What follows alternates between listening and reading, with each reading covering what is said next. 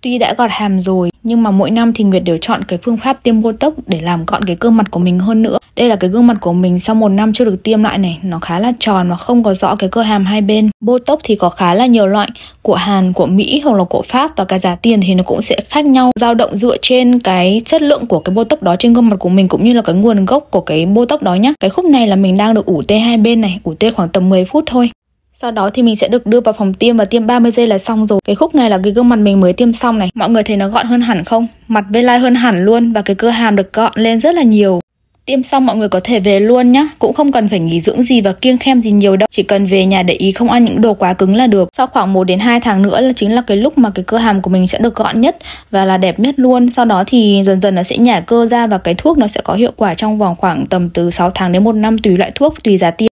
Gói Nguyệt chọn là gói thuốc của Mỹ, giá là 8 cụ cho hai bên hàm 50 unit. Mọi người có thể chọn gói thuốc của Hàn hoặc là của Pháp cũng được thì cái giá nó sẽ rẻ hơn nhưng mà đồng nghĩa với việc là cái hiệu quả nó cũng sẽ ngắn hơn. Ví dụ như thuốc của Hàn thì nó chỉ được khoảng tầm 6 đến 8 tháng thôi, còn của Pháp thì cũng được khoảng tầm 9 đến 12 tháng. Tuy nhiên thì trên thị trường hiện nay thì cũng có khá là nhiều cơ sở để cái mức giá nó thấp hơn ấy thì mọi người nên cân nhắc lưu ý và chọn những cái cơ sở nào nó uy tín nhé.